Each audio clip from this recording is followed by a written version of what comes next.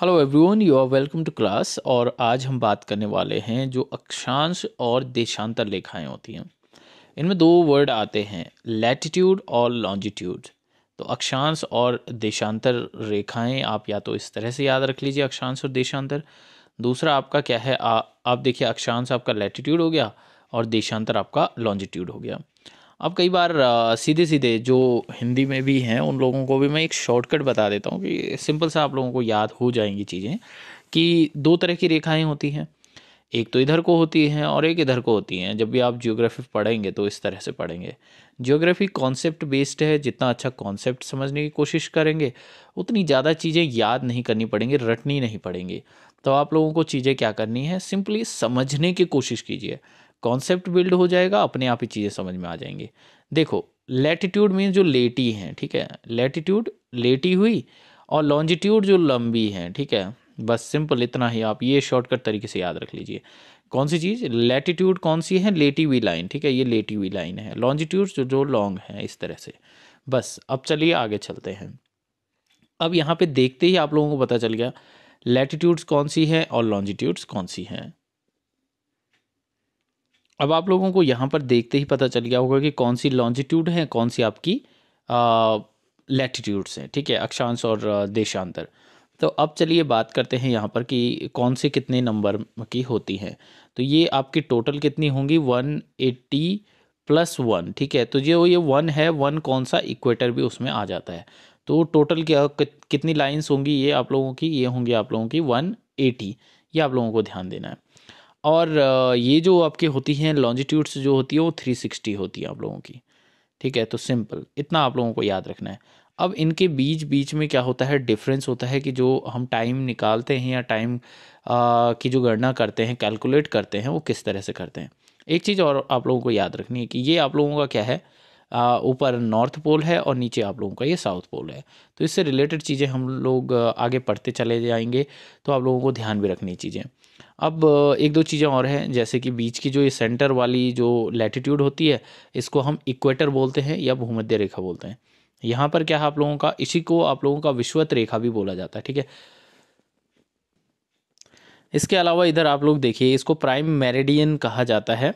और prime meridian जो है वो आप लोग देख सकते हैं कि कहाँ से निकल कर आ रही है। ये आप लोगों का शुरुआत में होती है ज़ीरो डिग्री, ठीक है? तो इससे रिलेटेड हमें फैक्ट याद रखने हैं। किन किन चीज़ों से रिलेटेड फैक्ट रखने होते हैं?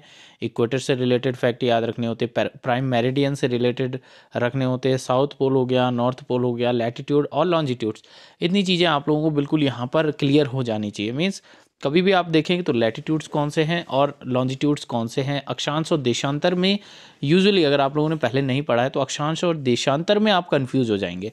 इसलिए जो हिंदी मीडियम के हैं, वो भी बस जस्ट याद रखिए लैटिट्यूड्स लॉन्जिट्यूड्स इसमें आप कभी कंफ्यूज नहीं होंगे। जो लेटे हुए हैं, वो तो आपके लैटिट्यूड हो गए, जो खड़े हैं, इधर को जो चल रहे हैं और इधर जो चल रहे हैं, ये क्या हो गए आपके लॉन्जिट्यूड्स हो गए। तो बस आप लोगों को इतना याद रखना है। तो हिंदी मीडियम वाले भी इसमें याद रख सकते हैं। अब बात करते हैं इक्वेटर की। इक्वेटर को मैंने कहा आप लोगों को भूमध्य रेखा भी कहते हैं।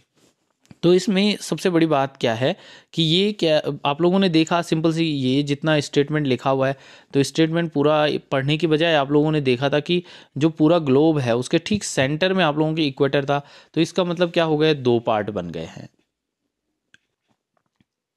अब ये जो दो पार्ट आप लोगों के बनते हैं इस ये वाले तो आपके ये बन जाएगा आपका नॉर्थ और ये हो जाएगा आपका साउथ या उत्तर या दक्षिण, आप लोग इस तरह से कर सकते हैं।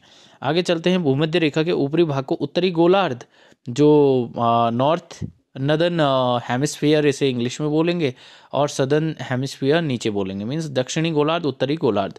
अब गोलार्ध का क्या मतलब होता है? गोल है, ठीक है? और उसका आधा है तो इसलिए इसको गोलार्ध बोलते हैं या इंग्लिश में इसको हेमिस्फेयर बोला जाता है। तो इस तरह से आप लोगों को याद रखना कि इसको हेमिस्फेयर बोलेंगे तो दो बन गए ना, काट के अगर हम लोगों ने ऐसे देख लिया तो दो बन गए।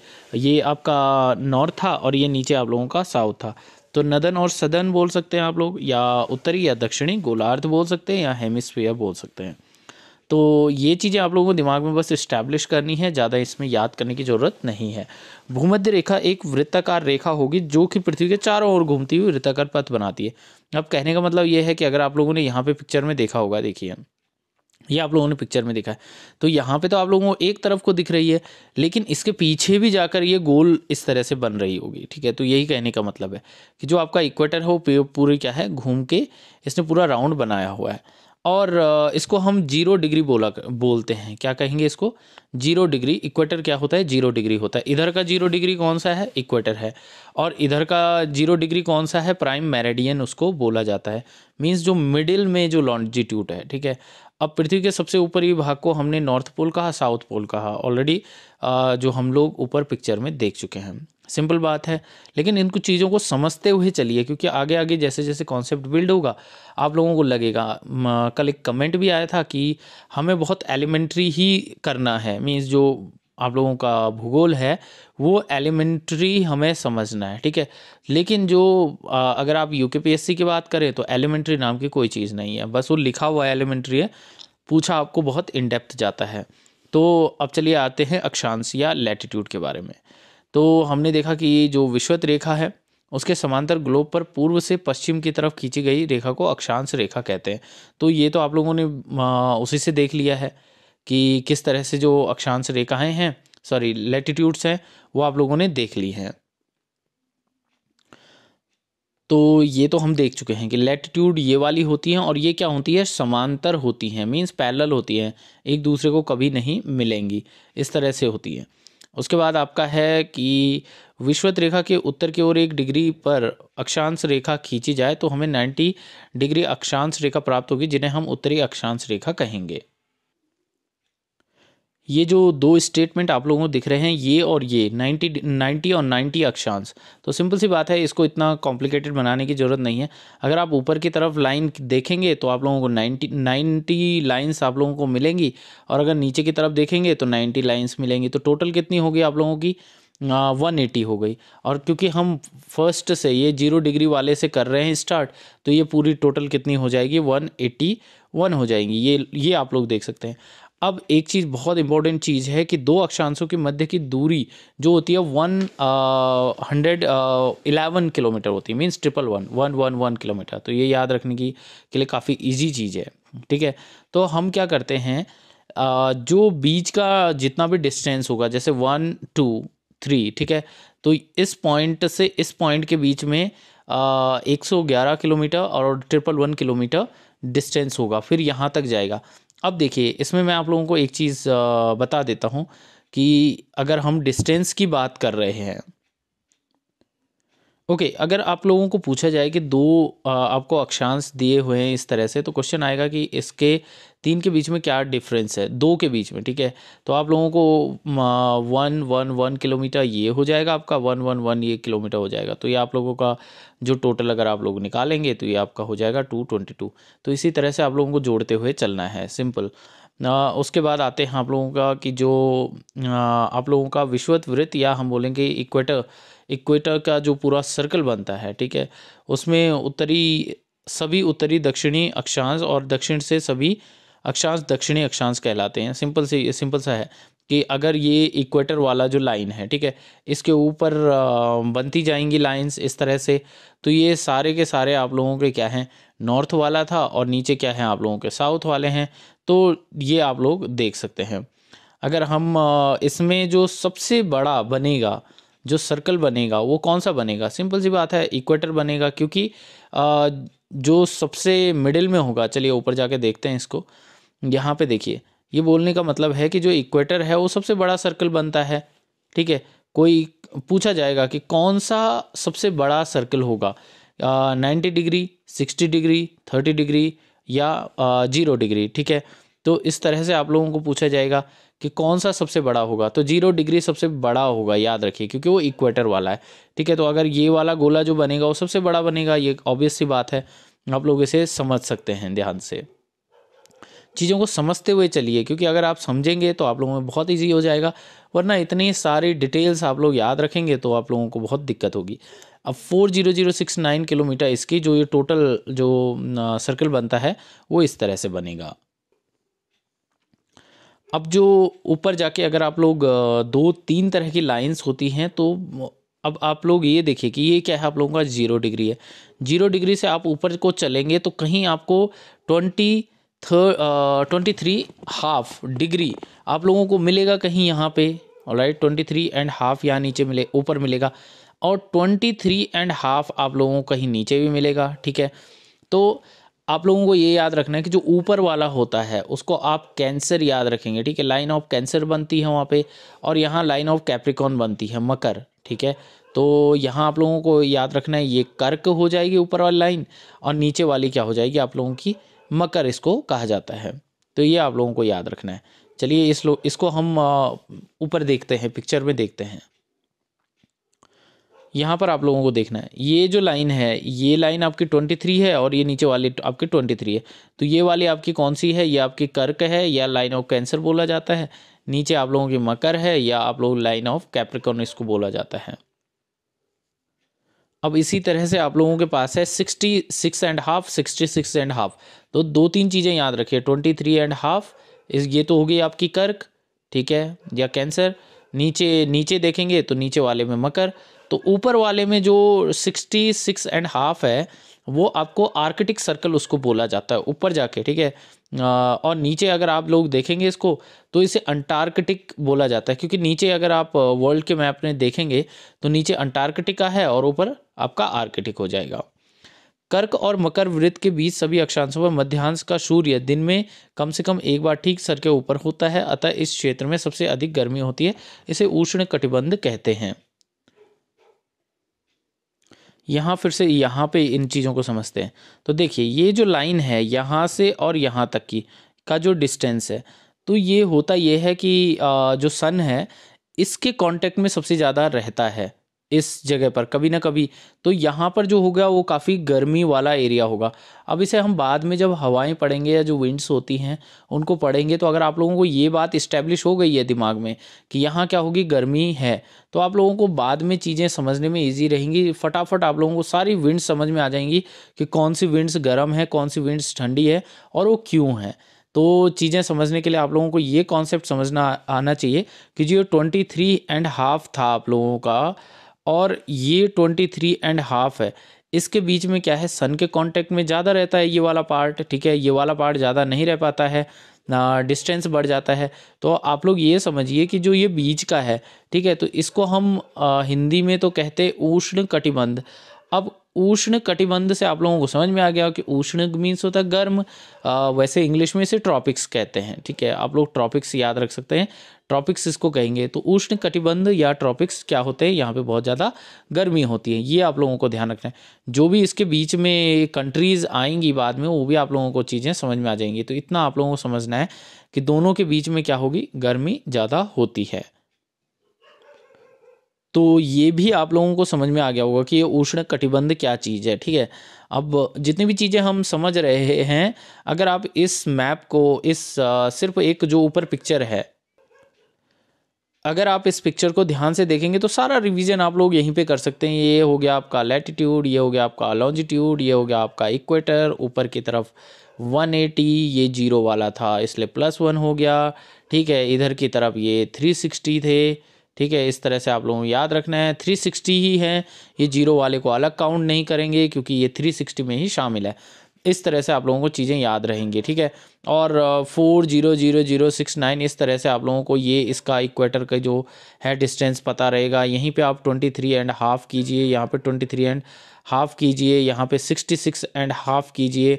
ठीक है, यहाँ पे आप लोग सिक्सटी सिक्स एंड हाफ़ करना है, या आपका आर्किटिक सर्कल हो गया, या अंटार्कटिक सर्कल हो गया, ये सारी चीज़ें यहीं पर आप लोग एक साथ, जो हम नीचे इतना सारा पढ़ रहे हैं, अगर आप लोगों को ये समझ में आ रही हैं चीज़ें नॉर्थ एंड साउथ वाला याद हो गया होगा आपको कि ये आपका नॉर्थ हो गया, ये आपका साउथ हो गया अंडरस्टैंडिंग बढ़ाते हुए चलिए, आप लोगों को अपने आप चीज़ें याद हो जाएँगी, फटाफट आप लोग कर लेंगे, दो लाइन के बीच में, वो मैं भूल गया, दो लाइन के बीच में आपका वन वन वन होता है, ठीक है, ये आपको फोर ज़ीरो सिक्स नाइन याद हो गया होगा। अलावा और चीज़ें हाँ ये जो मैंने आप लोगों को कहा, उष्ण कटिबंध हो गया ट्रॉपिक्स आप लोगों को याद हो जाएगा। फटाफट आप लोग इससे टाइम आप लोगों का टाइम बचेगा। एक बार आपने वीडियो देख लिया, उसके बाद सारी चीज़ें क्लियर हो जाएँगी। अब इसे समझने की कोशिश करते हैं। अब इसमें आ गया आप लोगों का कि शीतोष्ण कटिबंध। अब आप लोगों को याद रखना है कि ये शीतोष्ण शीत प्लस उष्ण, हिंदी में हिंदी में अगला, अगर आप लोग देख रहे हैं तो शीत प्लस उष्ण हो गया मीन्स ठंडा भी है और गर्म भी है। तो बहुत अच्छा मौसम है। तो आप लोगों का क्या है कि शीतोष्ण किसको कहा जाएगा? या इसको अगर आप लोग इंग्लिश में बोलेंगे तो टेम्परेट कहा जाता है। तो ये जो पार्ट था आपका ट्वेंटी थ्री एंड हाफ़ और ट्वेंटी थ्री एंड हाफ़ यहाँ तो क्या हो रहा था? सन का बहुत अच्छा डायरेक्ट सन रेज पड़ती हैं। तो हाँ दिन में तो क्या होता है, यहाँ पे काफ़ी ज़्यादा गर्म होता है ट्रॉपिक्स होता है। लेकिन इसके ऊपर अगर आप देखेंगे यहाँ तक, ठीक है सिक्सटी सिक्स एंड हाफ़ तक, ठीक है सिक्सटी सिक्स एंड हाफ़ तक अगर आप यहाँ नीचे तक देखेंगे तो यहाँ इसके बीच में और इसके बीच में यहाँ क्या होता है आप लोगों का जो टेम्परेट होता है, या हम कहें कि शीतोष्ण होता है, शीतोष्ण कटिबंध समझ समझ लीजिए। तो अगर ये सारी चीज़ें आती हैं आप लोगों को समझ में तो आप लोगों को आगे की चीज़ें अच्छे से समझ में आएँगी। अब इसके अलावा जो बच गया आपका तो ऊपर वाला गोला बच गया और नीचे वाला आप लोगों का आर्कटिक और अंटार्कटिक बच गए। तो इन दोनों में क्या है कि सन की रेज क्या है, डायरेक्ट नहीं पड़ रही हैं। तो ये जो आर्कटिक और अंटार्कटिक हैं, इन्हें आप शीत कटिबंध कहते हैं। यहाँ पर क्या होता है, बहुत ठंड रहती है। इसीलिए वहाँ पे सारा बर्फ़ जमा रहता है। अब अब आ जाते हैं कि जो देशांतर रेखाएँ या लॉन्जिट्यूड्स लाइंस हैं, उनको समझ लेते हैं। तो ये लो, ये तो आप लोगों ने देख लिया होगा कि जो चलती हैं इधर को ठीक है? तो ये हो गई आपकी लॉन्जिट्यूड इसको आप अगर एक बॉल ले लीजिए आप उसके चारों तरफ़ लाइन खींच लीजिए तो आप लोगों को ये समझ में आ जाएँगे। तो ये सारी क्या होता है कि आ, हम देखेंगे तो ये 360 360 सिंपली अगर कोई भी गोल चीज़ है तो उसमें कितने डिग्री के एंगल बनते हैं? 360 डिग्री के एंगल बनते हैं। यहाँ पर आप लोगों को ध्यान रखना है कि जो देशांतर रेखाओं के बीच की दूरी है, वो क्या है? One one one point thirty two kilometre होती है। कहाँ पर? जो इक्वेटर पे पूछा जाता है यूजुअली और, जो बीच का है, उसे कहेंगे हम ज़ीरो डिग्री और इसी को हम प्रधान मध्यान्ह देशांतर रेखा या प्राइम मेरेडियन कहा जाता है। ये भी काफ़ी बार पूछा जाता है कि ये कहाँ से निकलती है। तो ये कहाँ से निकलती है आप लोगों की? ये निकलती है आपकी इसे ग्रीन विच एक शहर है इंग्लैंड में। अब आपको मैं वर्ल्ड का मैप जब दिखाऊँगा तो वहाँ पे आप लोगों को बताऊँगा कि जो ग्रीनविच है वहाँ से ये निकलती है, ठीक है, इंग्लैंड में। तो इसको क्या कहा जाता है? ग्रीनविच लाइन भी इसको कहा जाता है। दो चीज़ें हैं, देखिए, प्राइम मेरेडियन भी है और ग्रीनविच भी है। और इसे प्रधान मध्या, प्रधान मध्यान्ह देशांतर रेखा भी कहा जाता है। इसी से जो है वो टाइम का ड्यूरेशन भी किया जाता है। मीन्स कहाँ पे क्या टाइम होगा, कितना डिफरेंस होगा तो वो चीज़ जो डिसाइड की जाती है, वो इसी से कहा जाता है और मानक समय मानक समय रेखा भी इसको कहा जाता है। तो तीन चार चीज़ें हैं। मानक समय ग्रीनविच रेखा ग्रीनविच रेखा Greenwich line standard time line ये सारी क्या हैं, एक ही एक ही लाइन जो ज़ीरो डिग्री है आप लोगों की। लॉन्जिट्यूड तो ज़ीरो डिग्री लॉन्जिट्यूड के ही कई सारे नाम हो गए, ठीक है? ज़ीरो डिग्री लॉन्जिट्यूड है ग्रीनविच हो गया आपका, ठीक है? ग्रीनविच हो गया और स्टैंडर्ड टाइम हो गया प्राइम मेरेडियन हो गया, ठीक है? ये सारी चीज़ें एक ही लाइन की बात हो रही है। आगे चलते हैं। ये जो ग्रीनविच लाइन होती है, ये सिंपल सी बात है कि ये गोला है, पृथ्वी, और उसको क्या कर रही है? टू पार्ट्स में वन एंड टू में कर रही है। अब ये आपका ईस्ट और ये हो गया आपका वेस्ट ठीक है? जैसे हमने उसमें देखा था, दूसरे वाले पार्ट में, ऊपर लैटिट्यूड वाले पार्ट में देखा था। तो ये हो गया आपका लैटिट्यूड आपको सॉरी ये आपका लॉन्जिट्यूड हो गया और ये हो गया आपका लैटिट्यूड तो दोनों में आप लोगों को देखना है। यहाँ पे आप लोगों को इक्वेटर हो जाता है, यहाँ पे ज़ीरो डिग्री हो जाता है। तो यहाँ तो हमारे पास नॉर्थ और साउथ मिलता है, यहाँ ईस्ट और वेस्ट मिलता है। ये आप लोगों को समझ में आ गया होगा। यहाँ एक तरफ़ को अगर इस साइड की पूरी लाइंस को देखा जाए तो वो आपकी 180 हो जाएँगी। और इस साइड की भी टोटल देखी जाए तो 180 हो जाएँगी। अब ये सारा आपको बार बार पढ़ने की ज़रूरत नहीं है। वो एक पेज लीजिए, वहाँ पे फटाफट सारी चीज़ें बनाइए। आप लोगों को ये, अगर आप लोगों को मैं ये आधे घंटे में कंप्लीट कर रहा हूँ तो आप लोगों का ये सिर्फ़ पाँच मिनट भी आपको नहीं लगने चाहिए टोटल अब बात आती है कि जब जो अर्थ है हमारी ठीक है? तो अर्थ क्या करती है? चौबीस घंटे में एक चक्कर लगाती हैं। तो जो अर्थ है, वो चौबीस घंटे में पूरा थ्री सिक्सटी डिग्री घूम जाती है, ठीक है? ऐसे में घूम रही है जो, ओके? तो जब पूरा घूम रही है तो एक डिग्री घूमने में उसे चार मिनट लगते हैं। अब आप लोग इसे चाहे समझ के कर लीजिए और चाहे खाली याद कर लीजिए इसके।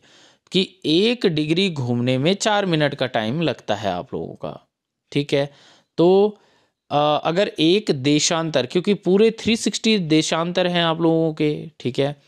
तो जो लॉन्जिट्यूड आपके 360 है तो अगर हम बात करें कि दो तरह से बोला जा सकता है कि एक डिग्री घूमने में चार मिनट लगता है, या ये भी बोला जा सकता है कि एक डिग्री देशांतर घूमने में चार मिनट लगते हैं आप लोगों के।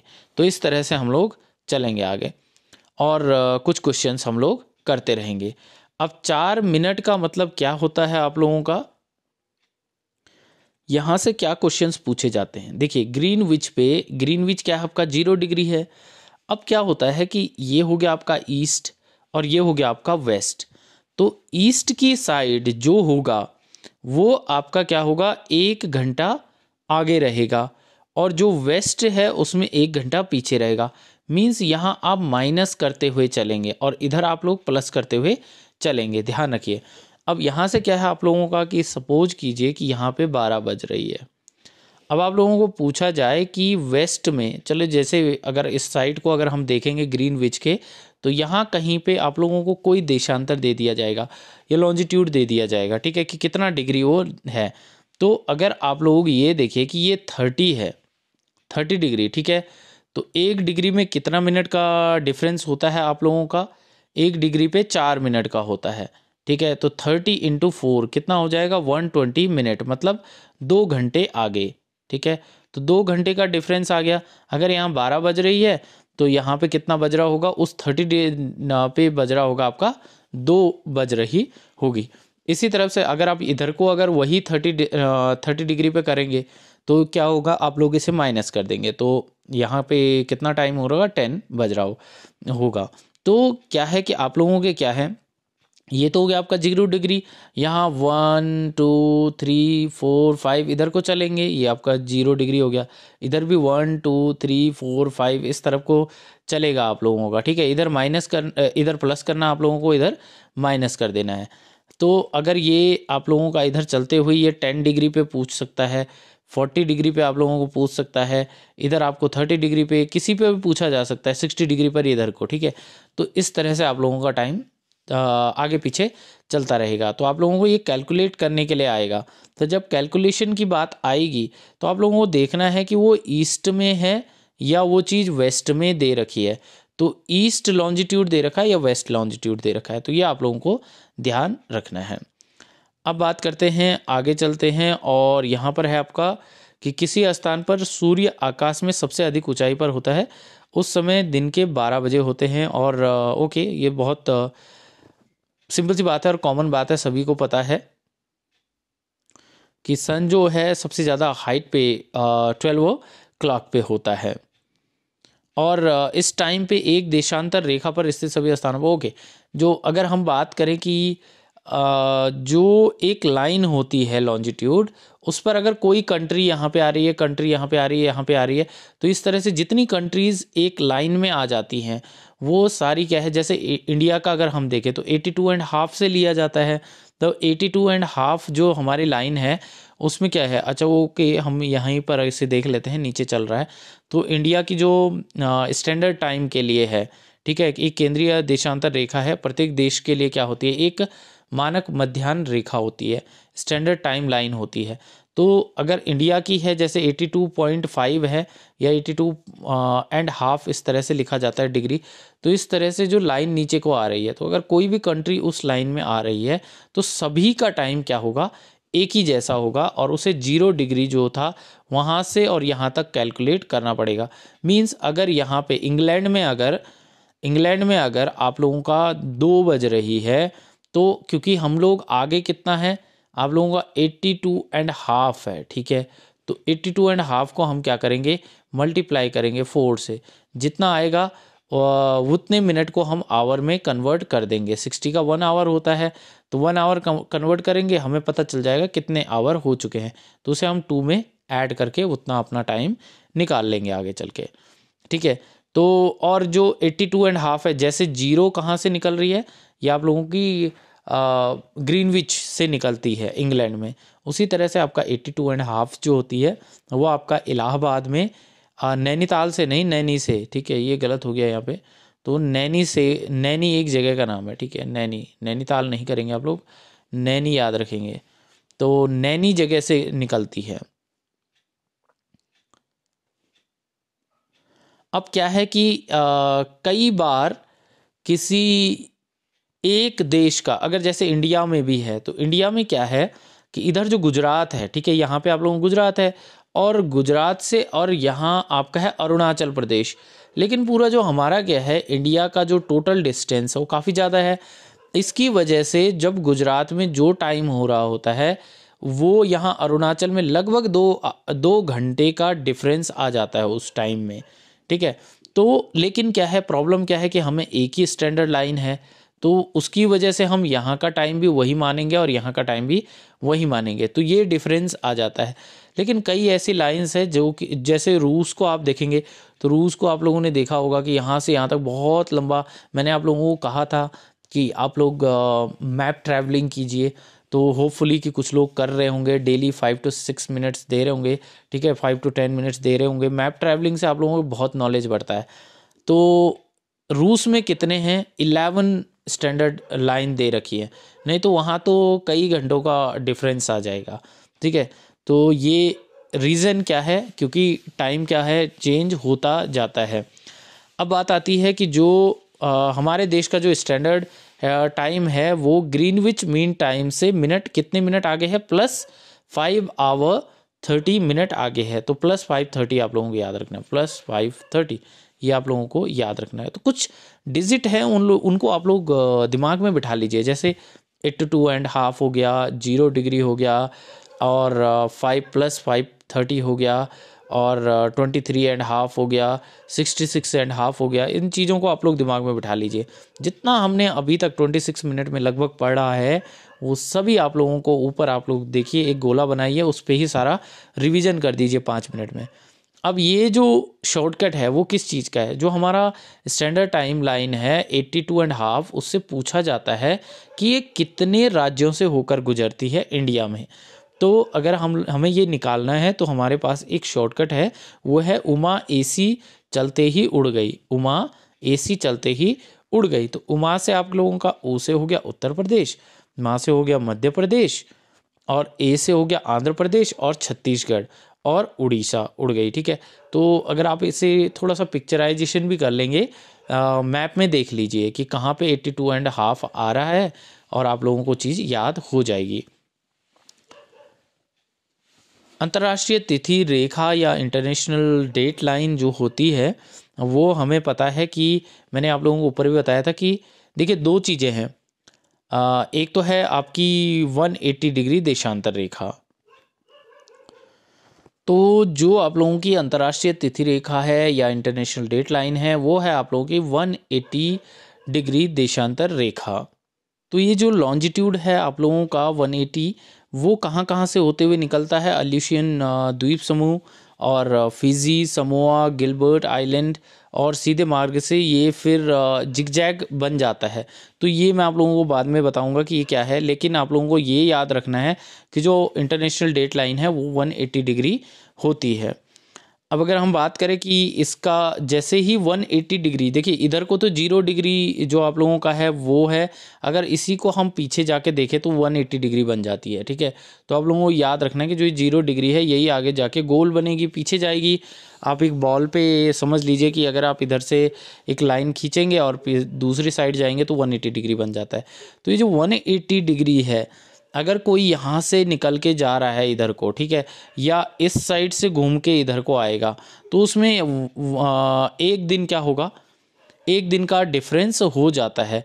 अगर पश्चिम से पूर्व की तरफ़ चल रहे हैं वेस्ट से ईस्ट की तरफ़, ठीक है तो उसमें क्या होगा? जो यात्री जापान से यूएसए एक दिन वो क्या करेगा? ऐड करता हुआ चलेगा। और अगर वो ईस्ट से वेस्ट की तरफ़ जा रहा है, ठीक है तो एक दिन क्या करेगा? माइनस करेगा।